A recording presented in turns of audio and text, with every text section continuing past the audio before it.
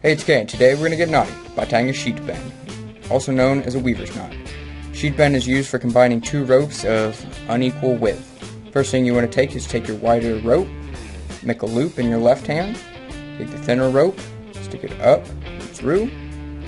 As you pull that through, wrap it around, create another loop, pull the thinner end through, pull tight.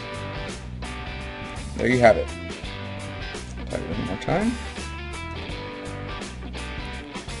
Loop, thinner around, up, wrap it around, make a loop, pull it through. There you have it, the sheets bend.